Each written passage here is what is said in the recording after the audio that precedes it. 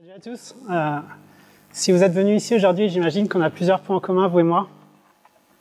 Déjà, vous êtes cool, sinon vous ne seriez pas là. Euh, et sachez-le, vous êtes même bien plus cool que les gens qui sont venus euh, ici. Et, ici, vous avez choisi la bonne salle, vous avez du goût, évidemment.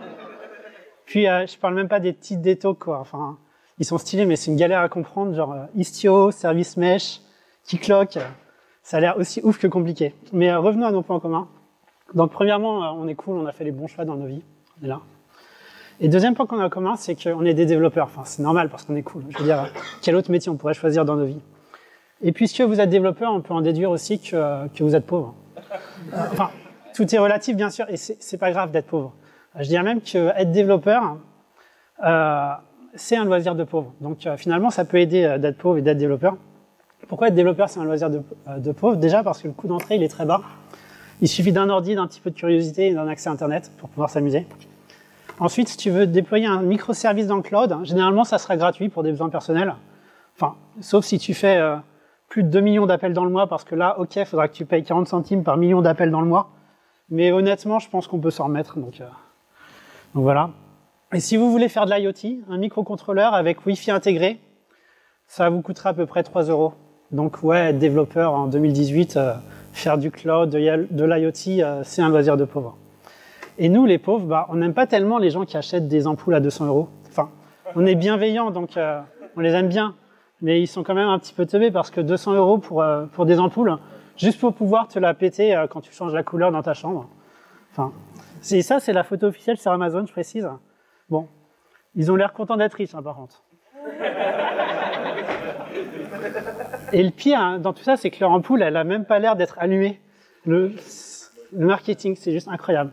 Mais très important, les amis, et si vous deviez retenir qu'une seule chose aujourd'hui, c'est que l'argent ne fait pas le bonheur. Wow. Très important. Merci. Ah. Merci. Je l'ai cherché longtemps.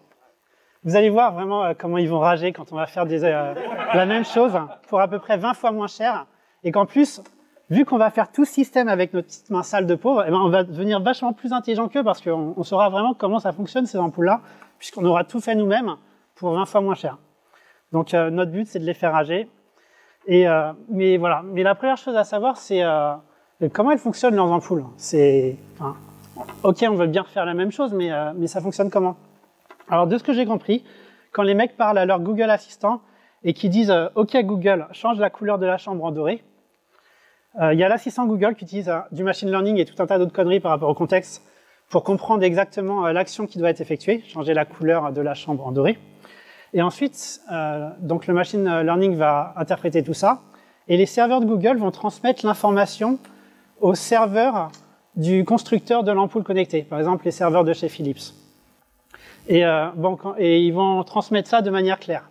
Et quand je dis de manière claire, c'est de manière claire pour un serveur, c'est-à-dire que ça sera généralement un appel REST avec du JSON à l'intérieur, et dans le JSON, il y aura des trucs genre euh, user ID 42, action execute, couleur gold et device ID 8. Donc, OK Google change la couleur de la chambre dorée. Les serveurs de Google vont interpréter la phrase et transmettre ce JSON-là au serveur de chez Philips. Euh, serveur de chez Philips, c'est simple. Ils vont euh, parser ce JSON. Ils vont comprendre qu'il y a une action exécutée. Et puis, euh, et puis ça va continuer comme ça. Et les serveurs de Philips, ils vont savoir qu'il y a une action à exécuter. Et maintenant, ce qu'ils devront faire, c'est transmettre cette information, changer la couleur de la, de la chambre. Ils devront la transmettre dans votre maison. Et pour la transmettre dans votre maison, généralement, il passe par un appareil central qui est dans votre maison. Euh, en tout cas, dans les Philips Hue, c'est le Philips Hue Bridge. C'est un composant qui est obligatoire quand vous achetez des ampoules Philips Hue, et c'est lui en fait qui fait le lien, qui fait le pont entre les actions qui viennent d'Internet et les interactions avec les périphériques dans votre maison. C'est un Philips Hue Bridge, un bridge parce que c'est un pont entre Internet et votre maison. Et euh, ensuite, tout ce qu'il va faire, c'est euh, forwarder euh, l'information, comprendre ce qu'il faut faire et allumer les ampoules. Donc, OK, Google change la couleur de la chambre. Il transmet un JSON. Lui, il parse le JSON. OK, je sais que je dois contacter tel appareil dans la maison des riches. Ensuite, il contacte cet appareil-là. Cet appareil, il, est, il est sécurisé par un port Internet, c'est-à-dire que personne d'autre que les serveurs de Philips devrait pouvoir avoir accès à lui. Et lui, il va faire, OK, il faut changer la couleur d'une ampoule eh ben, je change la couleur d'une ampoule. Et, et euh, chez les Philips Hue, c'est via une communication en Zigbee. je crois, mais c'est pas si important que ça. C'est juste, c'est un protocole de communication entre l'ampoule et l'appareil central dans la maison, responsable de contrôler tous les autres périphériques à l'intérieur de la maison de manière sécurisée. Donc Philips Hue Bridge, le pont. Euh, dans l'esprit des riches, moi j'aime bien ce nom, le Philips Hue Bridge, parce que vous voyez, euh, dans l'esprit des riches, un pont, euh, c'est cool, ça fait un petit peu penser au, pont-levis dans les châteaux forts, qui protégeait le château du danger extérieur d'Internet. Donc ça, les riches, vous comprenez le délire, le, le, nom il est super approprié. Et les riches, bah, ils aimaient bien ça, se protéger de l'extérieur. C'est pour ça aussi qu'ils se marient entre eux. Donc voilà, ça fonctionne comme ça, il paraît. Et je parle de Philips Hue depuis tout à l'heure, mais il faut savoir que c'est le même délire avec n'importe quel périphérique qui est compatible avec le Google Assistant. Donc je prends Philips en exemple, mais ça marche avec n'importe lequel. C'est juste pour que vous compreniez à, peu près comment ça fonctionne dans les détails. Donc c'est toujours le, même délire. Le Google Assistant, il l'appelle un serveur qui va s'occuper de transmettre l'information à un appareil central dans votre maison qui va contrôler les appareils. Voilà. Ça, c'est euh, des images promotionnelles euh, du Philips Hue Bridge. Ça permet d'admirer un petit peu la beauté du truc. Mais si vous deviez retenir qu'une seule chose aujourd'hui, c'est qu'il faut se méfier des apparences. Ça aussi, j'ai cherché très loin. il le disait euh, souvent dans Secret Story. Et euh, feu Secret Story. Et c'est assez vrai parce que euh, quand on regarde comme ça, on se dit c'est une belle boîte blanche, mais il faut se méfier des apparences parce qu'en fait, c'est loin d'être une jolie boîte blanche. Avec la vision plus technique qu'on a, vous et moi, en fait, on se rend compte que le Philips Hue Bridge, bah, ça ressemble juste à une grosse boîte d'or propriétaire qui est limitée à un sous-ensemble des périphériques qui sont privateurs de liberté. ça, c'est pas cool, quoi pas cool du tout. Donc euh, c'est pas vraiment une belle boîte euh, blanche. Et nous, ce qu'on va faire, c'est qu'on va faire les mêmes délires, sauf qu'on va pas prendre une boîte noire propriétaire. On va avoir un bridge chez nous, donc on va construire un bridge qui va euh, communiquer avec Internet et puis communiquer avec les périphériques dans notre maison. Mais notre but, c'est d'être un petit peu plus ouvert. Donc on va remplacer ce bridge propriétaire par un Raspberry Pi 3. Ça sera mieux parce que un Raspberry, vous pouvez le programmer vraiment comme vous voulez, c'est assez ouvert. Et euh, on ne sera pas limité à un sous-ensemble de périphériques, puisque c'est un Raspberry, vous pouvez euh, euh, le connecter avec n'importe quoi. Et donc voilà, on va utiliser un Raspberry, c'est cool. Et vous savez, il y a un autre truc que les gens pauvres comme nous, ils aiment bien. quand ils ont un smartphone, en tout cas, bah, c'est Android. bon, après, il y a toujours des gens qui se voilent la face ou qui cherchent un sentiment d'appartenance, mais c'est pas le sujet. Eux, ils peuvent voir un psy. ce que je veux dire, c'est que quitte à être pauvre, autant assumer. Donc, sur notre Raspberry Pi, eh ben, on va installer Android dessus. tout simplement. Mais on va installer une distribution d'Android qui s'appelle Android Things. Alors ça, c'est un Raspberry euh, Pi normal. Il est juste un peu plus joli parce qu'il y, a une façade différente. Mais c'est un, Raspberry normal. Et vous savez, sur un Raspberry, vous pouvez installer n'importe quelle distribution GNU Linux. Mais vous pouvez aussi installer une distribution officielle euh, d'Android supportée par Google qui s'appelle Android Things. Et euh, comment ça s'installe? Ça s'installe exactement pareil qu'une distro GNU Linux, c'est-à-dire que vous prenez une image et vous la flashez sur votre Raspberry Pi. En 10 minutes, vous pouvez avoir, euh, enfin, allez, 15 minutes, 20 minutes, vous pouvez avoir euh, Android qui tourne sur un Raspberry. Euh, pourquoi on choisit Android? Déjà, enfin, pourquoi on choisit Android Things? Bah, Je l'ai dit, déjà, on, est un peu pauvre, donc Android, ça match avec nous. Mais aussi Android, Android c'est super cool. Et c'est vraiment partout Android en ce moment. On connaissait déjà Android sur les téléphones et les tablettes, sur les montres, sur les télés et euh, dans les voitures. Et maintenant, avec Android Things, on peut créer n'importe quel type d'appareil et inclure Android dedans. On peut écrire du code Android pour contrôler n'importe quel type d'appareil. Donc Android, c'est vraiment partout maintenant. C'est pas juste euh, limité à des smartphones. Et pour installer Android, bah voilà, vous prenez l'image sur le site officiel euh, d'Android Things, sur un dashboard, vous la flashez, et 15 minutes après, c'est OK. Une fois qu'Android Things est installé sur votre Raspberry, il va falloir contrôler le Raspberry. Et pour contrôler un Raspberry avec Android 6 dedans, il faut créer une application Android. Donc c'est la même chose que créer une application Android pour un téléphone. C'est les mêmes API, c'est le même SDK. Vous créez une application Android, vous installez cette application dans euh, le Raspberry et cette appli pourra contrôler euh, tous les, euh, enfin contrôler ce que vous voulez, contrôler tous les pins du Raspberry. Et pour faire une application Android, c'est simple, on utilise l'IDE par défaut qui est Android Studio.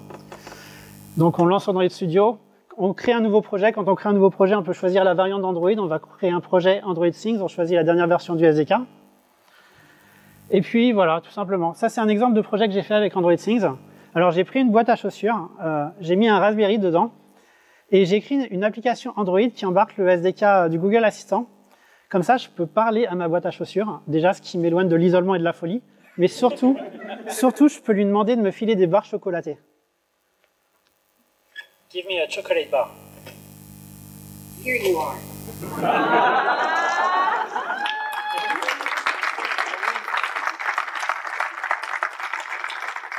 Alors, ok, mon Twix, il pue un petit peu entre l'odeur des chaussures et du carton, mais c'est pas le sujet. Euh, il y a du machine learning dedans.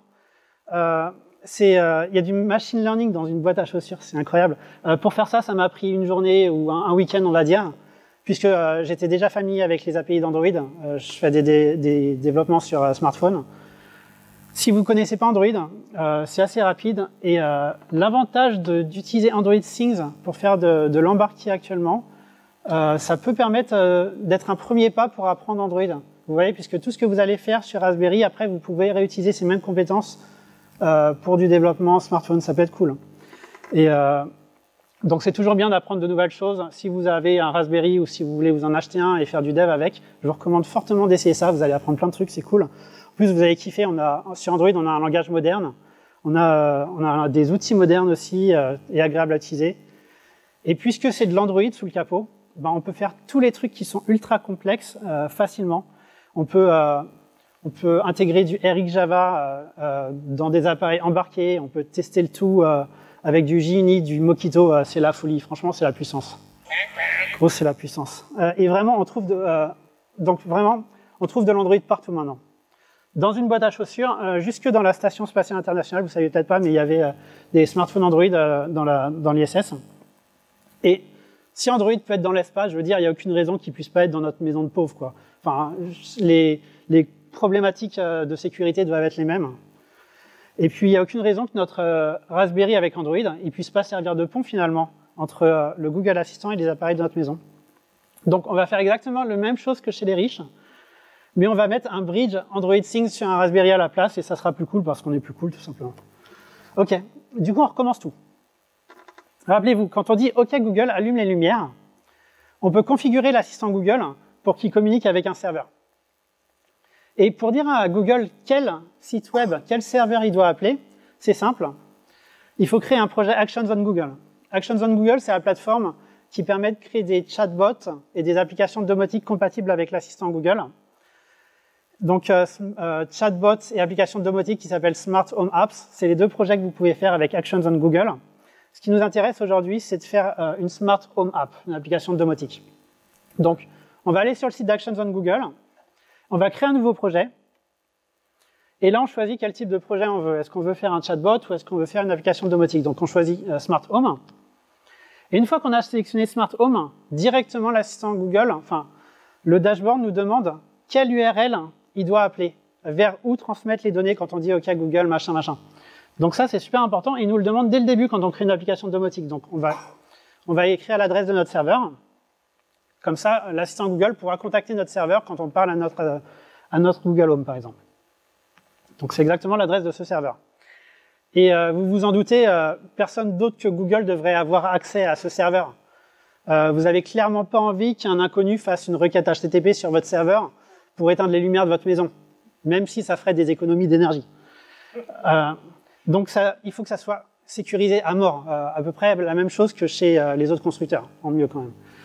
Donc ça doit être sécurisé, et euh, c'est pour ça que quand vous faites un projet Actions on Google, la première chose qu'il demande, c'est l'URL d'un service web, et la deuxième chose qu'il va vous demander, c'est l'adresse d'un serveur OS 2.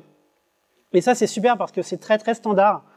comme ça, Actions on Google, quand il va faire, ce qu'il va faire, c'est qu'il va essayer de récupérer un token valide sur votre serveur OS 2, et à chaque fois qu'il communiquera avec votre propre serveur, il utilisera ce token euh, que vous lui avez donné. Donc c'est super top parce que euh, déjà c'est pas propriétaire, c'est un, un, protocole assez standard. Mais euh, l'inconvénient c'est que quand on est un individuel, ça peut faire peur. Genre ah ouais, si je veux juste changer la, lumière dans ma chambre, il faut que je mette un serveur OS2 quelque part.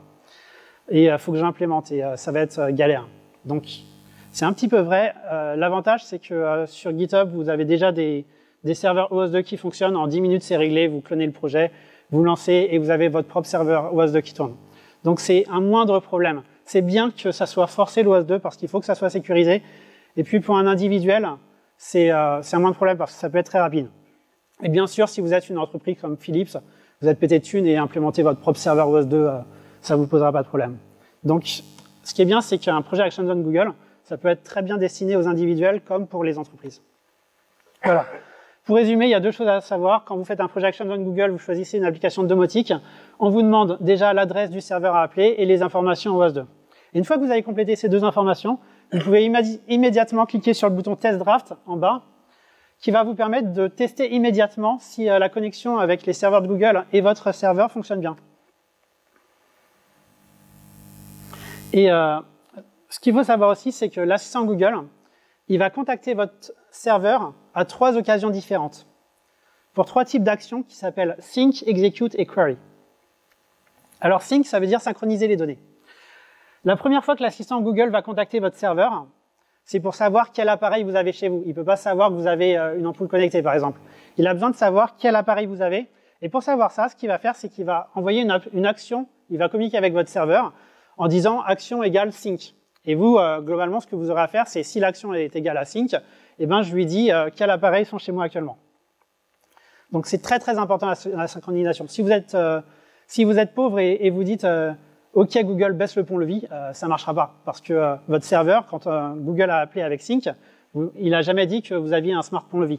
Mais s'il y a un riche qui dit OK Google a baissé le pont-levis, son serveur lui il a il a précisé qu'il a un smart pont-levis chez lui et du coup ça fonctionnera direct. OK Google a baissé le pont-levis, le pont-levis va se descendre, s'abaisser.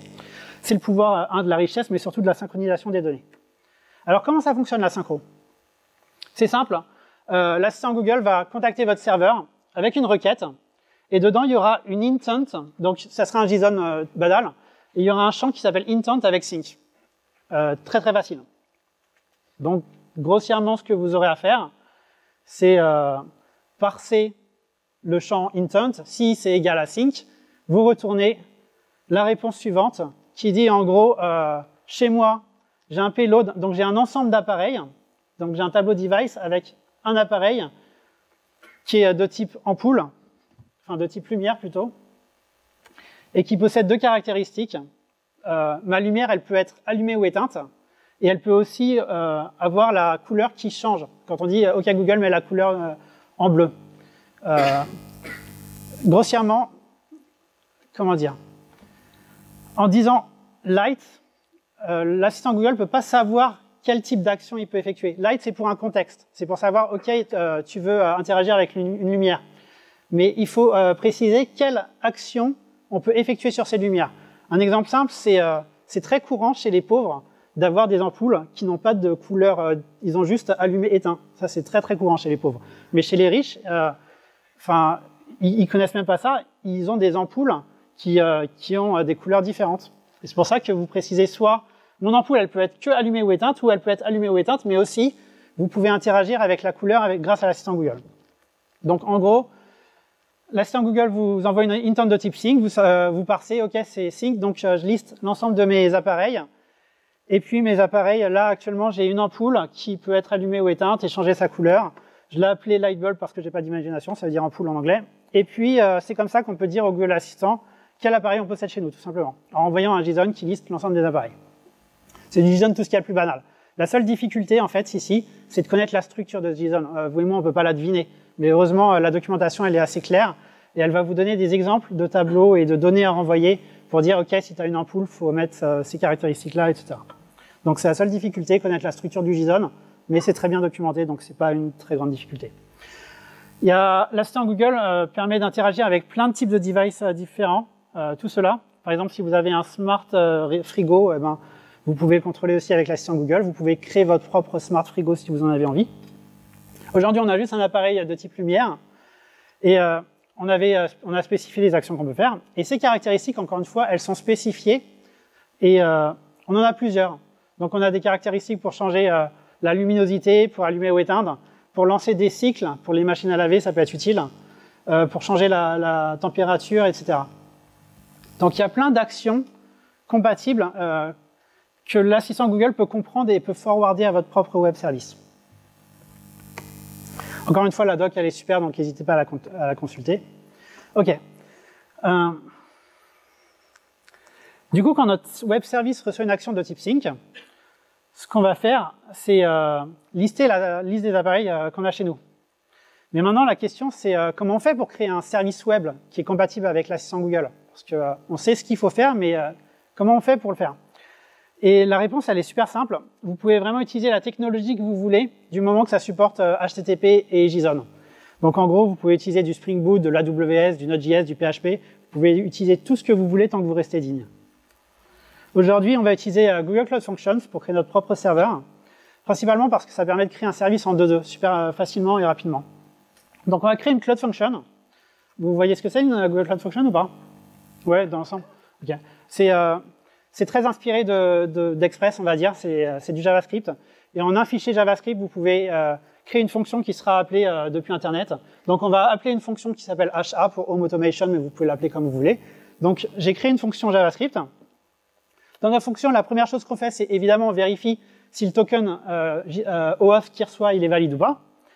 Et ensuite, on va parser l'intent pour savoir quel type euh, d'intention c'est. Et si c'est, donc c'est un gros if des familles hein, ou un switch, si c'est une intent de type sync, eh ben, euh, on retourne un JSON qui liste tous les appareils que vous avez vus tout à l'heure. Donc c'est la même structure que le JSON euh, précédent. Vous voyez, c'est en quelques lignes seulement, on peut créer un web service qui est compatible avec l'assistant Google, ici en utilisant les Google Cloud Functions, mais vous utilisez la stack que vous voulez. Encore une fois, vous recevez euh, une requête HTTP, vous vérifiez le token, vous passez l'intent. Si c'est sync, vous envoyez le JSON qui dit quel appareil vous avez chez vous et ça fonctionne.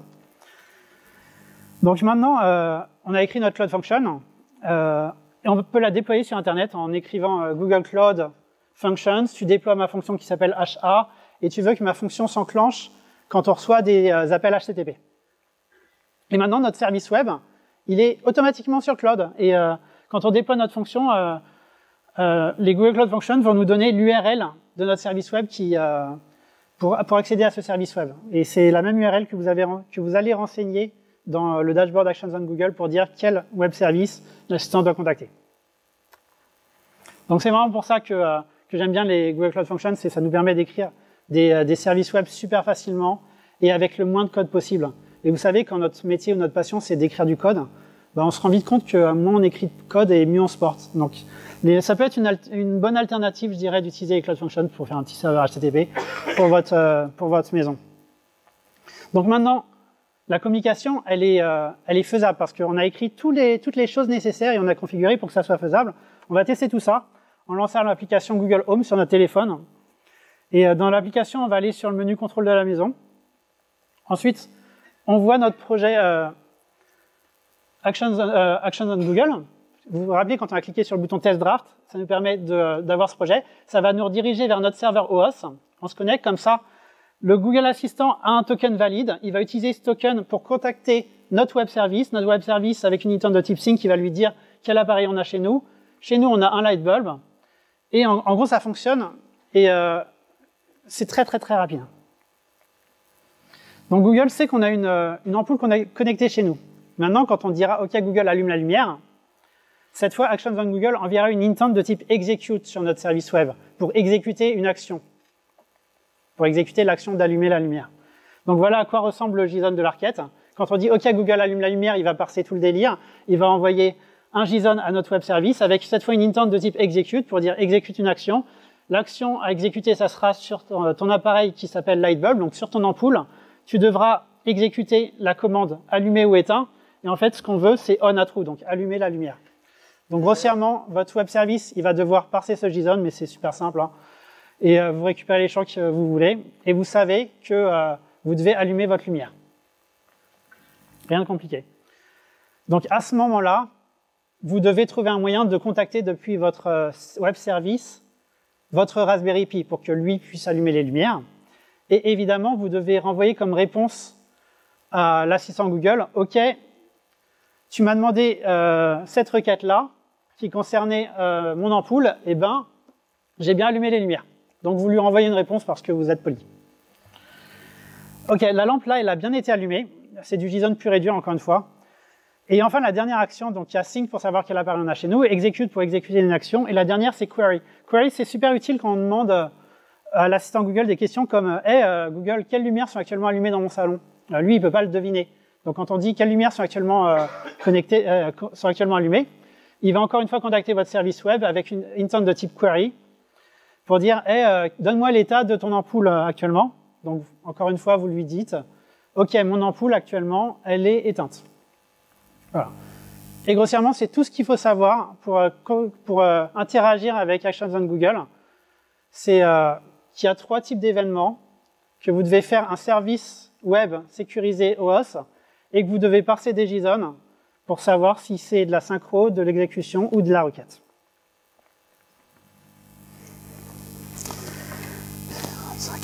Maintenant, euh, quand notre Cloud Function reçoit une action de type execute, ce qu'il faut faire, c'est communiquer avec notre appareil Android, avec notre Raspberry, pour pouvoir allumer les lumières.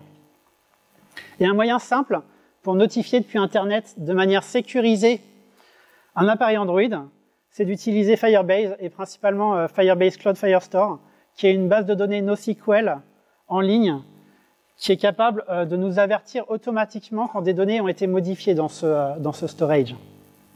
C'est super cool. Et c'est tellement cool qu'on va l'utiliser, donc on va créer un nouveau projet Firebase.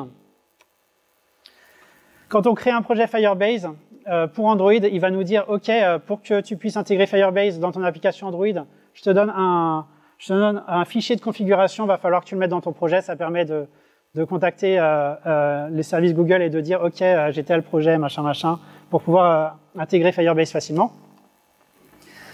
Évidemment, on va sécuriser un petit peu le truc, donc on va créer un utilisateur pour notre bridge Android Things. Et on va rajouter des règles de sécurité parce qu'on ne veut pas que n'importe qui modifie notre, notre base de données NoSQL en ligne. On veut vraiment que notre base soit modifié que par certains utilisateurs qui ont les droits. Donc ça, c'est encore une fois, euh, vous, de base, vous, lisez ça, vous vous dites, euh, je comprends pas, euh, parce que c'est euh, une syntaxe qui est vraiment spécifique à, à Fire, euh, Firestore. Mais en gros, ça veut dire que quand euh, on, autorise une lecture seulement, si l'identifiant est bon, sur ces données-là. Donc en gros, ça veut dire que l'utilisateur il aura uniquement accès en lecture seule aux documents qui sont stockés dans euh, slash user slash l'utilisateur en question. C'est-à-dire qu'on euh, ne pourra pas modifier des, documents d'un autre utilisateur. On pourra pas, moi, si je veux allumer mes, propres lumières, je ne pourrais pas allumer les lumières d'un autre utilisateur euh, du même constructeur, tout simplement. Donc maintenant, c'est des règles de sécurité hein, pour, pour sécuriser un petit peu le truc. Si vous faites juste un POC, vous oubliez ça, vous mettez un accès à lecture-écriture, juste pour tester. Ça fonctionne, ensuite vous vous focuserez un peu plus là-dessus. Euh, mais c'est pas primordial euh, pour tester. Ok, maintenant on va peupler notre Firestore en ajoutant un document qui va s'appeler Lightbulb. Donc dans notre base NoSQL, on va créer un document. Et notre document euh, qui s'appelle ampoule, il va contenir deux attributs. Il va contenir un champ qui s'appelle on, qui est un booléen euh, à true ou false pour dire si notre ampoule est allumée ou éteinte, et euh, un champ euh, qui représente la couleur dans un, dans un entier. Et voilà à quoi ça ressemble. Donc, on a notre euh, conteneur Firebase, notre euh, base de données NoSQL en ligne. On a une liste de documents. Euh, on a une liste d'appareils. On a un une ampoule pour l'instant. Et notre ampoule, elle a les deux champs, ON et Spectrum RGB. Donc, on a créé une base NoSQL en ligne. On a créé un document dedans.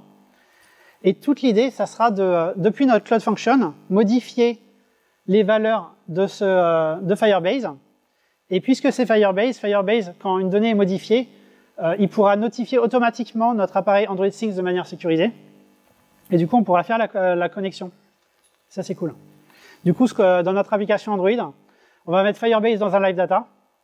Quand le live data est actif, on s'authentifie avec Firebase pour accéder au contenu protégé. Et puis, on écoute euh, les changements de Firebase euh, pour pouvoir être notifié sur notre, euh, appareil. Et puis, quand, Firebase nous notifie qu'une donnée a été changée dans le storage, eh ben, on va émettre la valeur quelque part pour qu'on puisse accéder partout depuis notre application Android. Donc ici, j'ai utilisé des live data pour vous montrer qu'on peut utiliser les architectures componentes sur Android Things, parce qu'Android Things, c'est Android, donc tout ce qui fonctionne sur Android euh, fonctionne euh, sur Android Things, globalement. Et puis, euh, donc, en gros, les live data, c'est juste une, abstraction réactive. Tout ce code-là, c'est une abstraction réactive autour d'un data store. On peut très bien utiliser du RX ou faire tout ça manuellement. Là, j'ai juste utilisé une implémentation réactive pour vous montrer que sur de l'embarqué, on peut faire des trucs compliqués en juste quelques lignes de code. Et je vous parle même pas de la facilité à tester tout ça, évidemment. Ok, donc notre appareil Android 6, maintenant, il est notifié automatiquement quand des données changent depuis Firestore. Maintenant, dans notre Cloud Function, quand on reçoit depuis Actions on Google une euh, intent de type execute pour exécuter une action, on va modifier le contenu de Firestore. On commence par, donc, la première chose, c'est de s'identifier avec Firestore. C'est juste du boilerplate, vous n'avez pas besoin de, de euh, comprendre, enfin de connaître la syntaxe exacte. C'est généralement toujours la même, vous regardez dans la documentation. Donc c'est juste quelques lignes pour s'authentifier de manière sécurisée avec Firebase depuis notre Cloud Function. On va récupérer une référence du document de notre ampoule. Donc, euh, encore une fois, c'est une ligne. Et puis, euh, notre ampoule, on va lui modifier ses données pour qu'il soit allumé et euh, la couleur, ça soit du bleu. Ouais, du bleu. Et puisqu'une valeur a été modifiée, donc dans notre Cloud Function, on a seté la valeur d'un document, Firebase va notifier automatiquement notre bridge Android Things. Et comme vous pouvez voir, on n'a pas beaucoup de code à écrire pour pouvoir modifier un, un conteneur Firestore depuis une Cloud Function. C'est juste quelques lignes de code, là trois lignes, plus authentification. Donc encore une fois, vous n'êtes peut-être pas familier avec l'API, mais vous pouvez voir que grossièrement, ça a l'air facile, et ça l'est. Du coup, quand on dit OK Google allume les lumières, euh, notre service web, qui est une Cloud Functions, elle va parser l'intent de type execute, je le dis encore une fois, euh, et pour mettre à jour les données dans Firestore, Puisque c'est Firestore, ça va notifier automatiquement notre Raspberry Pi qui tourne avec un Android dessus. Et maintenant, notre bridge Android Things, bah, il a reçu toutes les informations et il sait qu'il euh, doit allumer les lumières. Et eh ben, il peut euh, contacter les ampoules de notre maison pour pouvoir les allumer. Ah oui, c'est vrai qu'on n'a pas de lumière pour l'instant, parce qu'on est pauvre. Mais c'est pas grave, parce qu'on va, en acheter quelques-unes. Et on va acheter des ampoules RGB, mais rassurez-vous, on ne va pas acheter des ampoules à 200 euros. On peut trouver des ampoules Bluetooth pour moins de 10 euros sur des sites chinois. Et euh, ces ampoules elles peuvent être contrôlées à l'aide d'une application, euh, euh, d'une application qui fournissent, une application Android. Donc c'est une application qui est toute pourrie. Et nous, ça ne nous intéresse pas vraiment de changer les couleurs de notre ampoule avec leur application toute pourrie. Nous, ce qu'on veut, c'est pouvoir acheter des ampoules et pouvoir les contrôler nous-mêmes depuis notre Raspberry. On veut essayer d'éviter d'utiliser leur application. Donc ce qu'on va faire, c'est un petit peu de reverse engineering pour comprendre comment l'application fonctionne et comment elle arrive à euh, communiquer avec les ampoules. Et la façon la plus simple de faire ça, c'est de faire du man in the middle pour capturer les paquets Bluetooth qui sont envoyés depuis le smartphone vers l'ampoule. Et euh, on va intercepter des paquets Bluetooth entre le, smartphone Android, l'application fournie, et puis l'ampoule euh, connectée. Et vous ne savez peut-être pas, mais sur votre téléphone Android, vous avez exactement une option qui, permet de faire ça. Alors le nom est illisible, Bluetooth HCI Snooplog, mais ça fait ce qu'on veut, c'est-à-dire ça va intercepter toutes les, euh, tous les paquets Bluetooth et ça va les stocker dans un fichier qui sera compatible avec euh, Wireshark, du format, un format pickup. Donc, on active cette option développeur sur notre téléphone.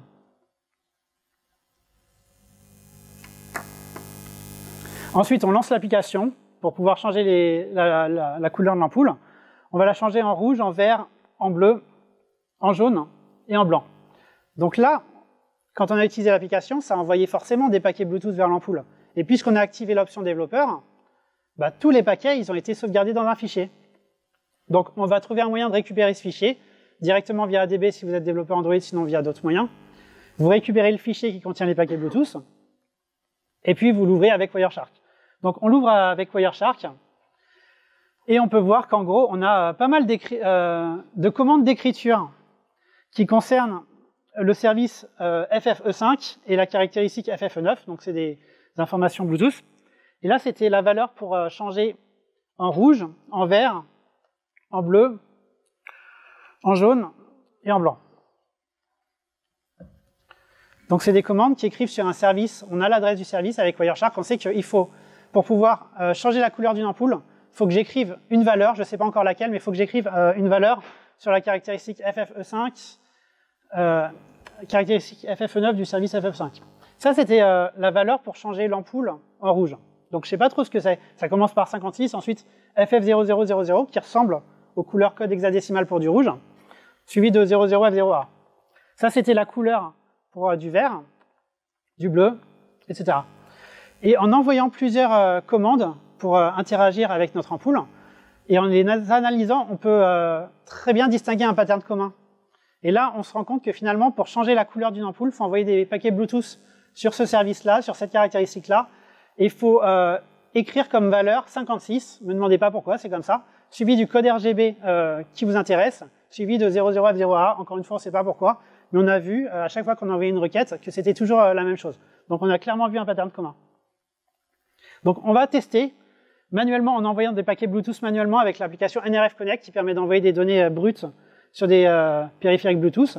Donc là je veux du rose, donc je vais écrire 56 FF00FF qui est le couleur code pour du rose, FF0AA j'envoie, et là, immédiatement, mon ampoule euh, s'est transformée en rose. Donc là, on a euh, reverse engineeré très facilement une ampoule euh, sur un site chinois pour pouvoir la contrôler manuellement. On sait quel paquet Bluetooth on a envoyé. Ça fonctionne, c'est cool. Maintenant, on a reverse, maintenant qu'on a reverse engineeré notre ampoule, eh ben, on peut écrire une méthode Android, puisque Android Things, c'est de l'Android. Et Android, ça gère les communications Bluetooth, Bluetooth LE. Donc on utilise les API Bluetooth LE d'Android pour pouvoir communiquer avec notre ampoule. La première chose à faire, c'est de convertir une couleur dans un format qui est compatible avec l'ampoule.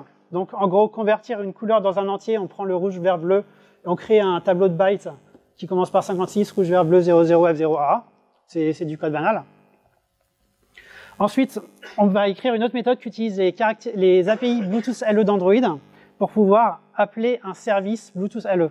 Donc grossièrement, on récupère notre service FFE5, notre caractéristique FFE9, notre caractéristique on va setter sa valeur, euh, la valeur de la caractéristique, ça va être la couleur qu'on veut, et puis on va euh, écrire sur cette caractéristique.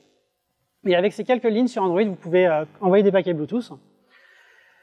Et donc, rappelez-vous, on a un live data qui nous avertit depuis n'importe où dans notre application Android quand le contenu de Firebase est modifié. Donc, on observe ce live data, on observe cette surcouche réactive. Quand on reçoit des informations, si c'est une ampoule, eh ben, on va envoyer euh, les euh, données. Euh, donc, OK Google change la, couleur de l'ampoule. Firebase a été modifié. Ça nous envoie des informations sur Android qui nous dit OK, maintenant l'ampoule faut qu'elle soit en rose. Eh ben, on va envoyer des paquets Bluetooth sur notre ampoule. Donc là, on va tester manuellement depuis l'interface de Firebase.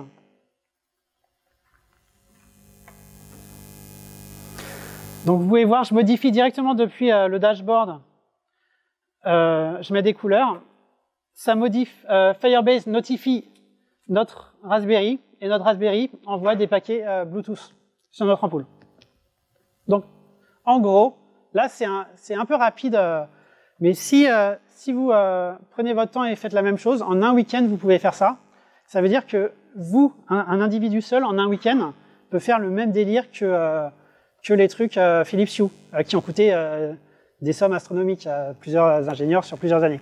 Et nous, euh, on peut faire la même chose ultra facilement. Donc tout est en place, on peut, on peut tester le résultat final. Ok Google, allume la lumière. Quand je dis allume la lumière, ça va automatiquement changer la couleur depuis Firestore. Ok Google, mets la lumière en magenta. Très bien, je change la couleur pour la lumière light bulb sur magenta. Ok Google, mets la lumière en bleu.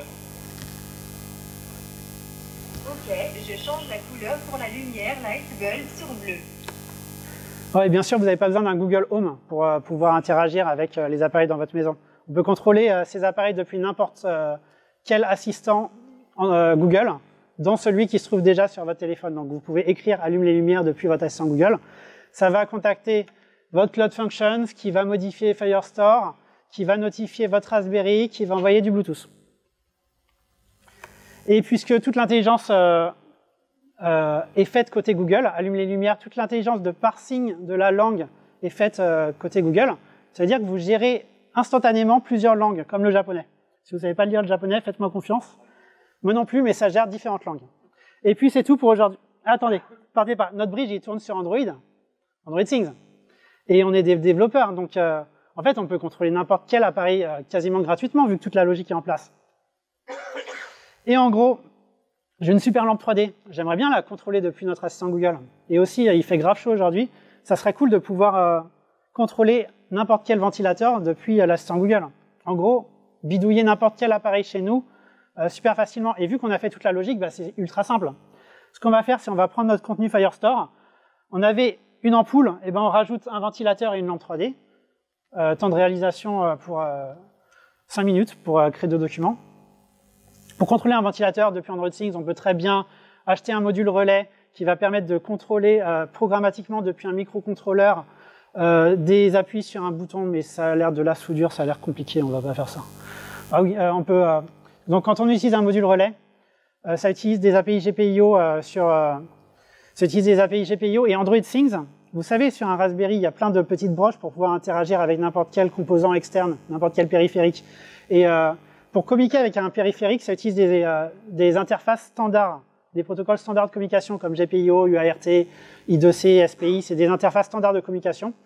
Android Things, ça gère nativement tout ça, c'est-à-dire que vous pouvez euh, communiquer avec n'importe quel périphérique externe qui, a, qui utilise ces standards de communication. Donc, en gros, si ça fonctionne sur un Arduino, si vous avez un composant qui fonctionne sur un Arduino ou sur un Raspberry, euh, avec une Raspbian, il y a de très fortes chances que ça fonctionne aussi avec Android Things, puisque vous avez des nouvelles API qui permettent de communiquer avec les périphériques externes qu'on peut brancher sur un Raspberry Pi. Donc voilà, on peut faire ça, mais on ne va pas le faire parce qu'on n'a pas envie de s'électrocuter. Euh, couper des fils électriques et tout, c'est un peu... Euh, enfin, ce que j'ai fait, c'est j'ai acheté des, prises électriques qui sont activables à distance avec une télécommande en radio. Et euh, de la même manière qu'on euh, avait intercepté des communications Bluetooth, bah, c'est des ondes radio, donc ça s'intercepte. Et si ça s'intercepte, ça se reverse engineer. Et si ça se reverse engineer, bah, on peut faire les mêmes délires. Donc on va acheter un Arduino, très rapidement, on va euh, acheter un émetteur et un récepteur à ondes radio. On connecte le récepteur à l'Arduino pour pouvoir recevoir les données. On va, euh, là c'est le récepteur en action, donc quand j'appuie hein, sur un bouton de ma télécommande pour allumer une prise, le code Arduino euh, me dit, OK, c'est ce bouton-là qui a été appuyé.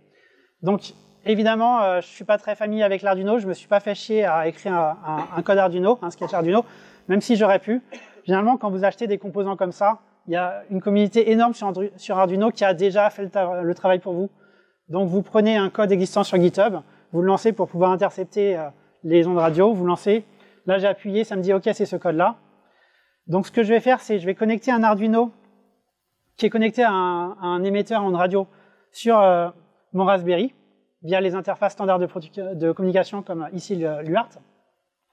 Donc c'est du code Android Things euh, spécifique.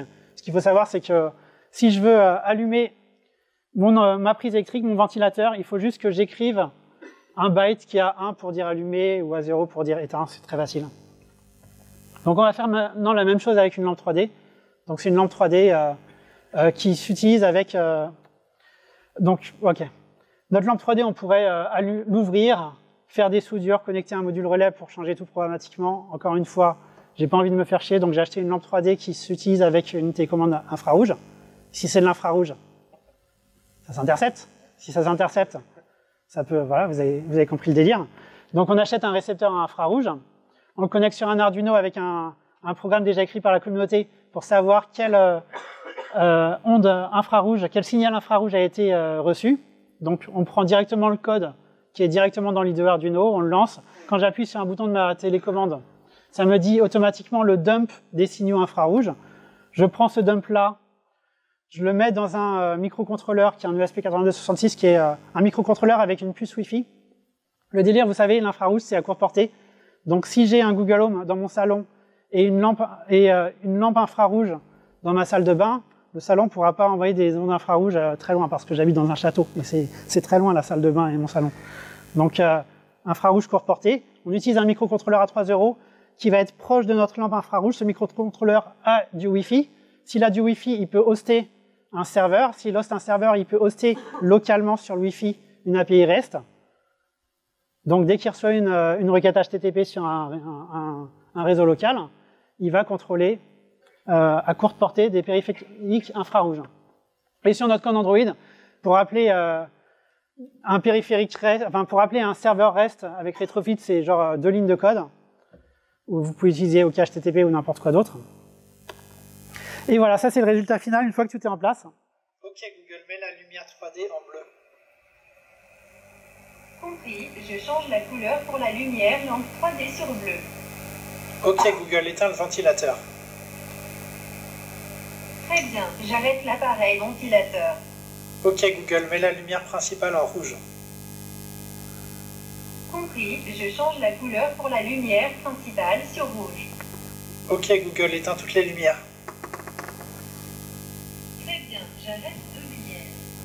Donc quand je dis change la, couleur de l'ampoule en rouge, euh, mon Raspberry il envoie des, paquets à Bluetooth, mais vu que c'est un Raspberry, il n'est pas uniquement euh, limité à un, seul périphérique.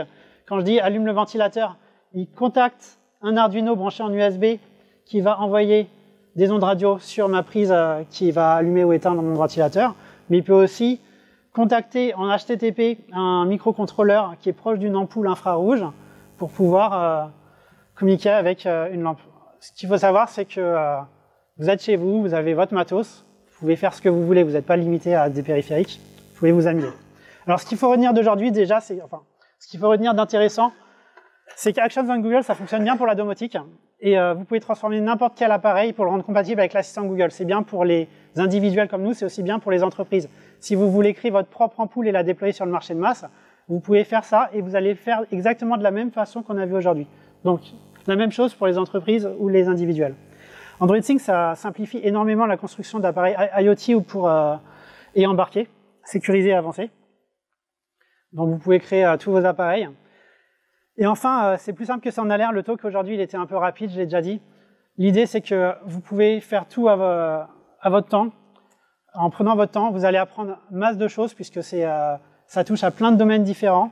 Vous allez vous amuser et vous aurez un résultat concret au final. Ça vaut le coup. Alors, toutes ces technos sont super cool, individuellement ou combinées.